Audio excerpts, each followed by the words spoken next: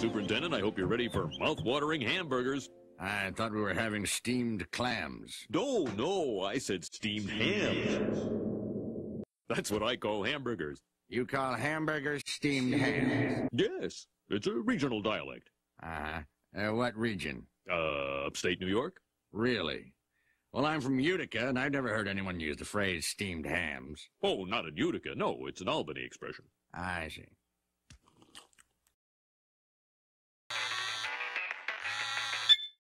I like trains.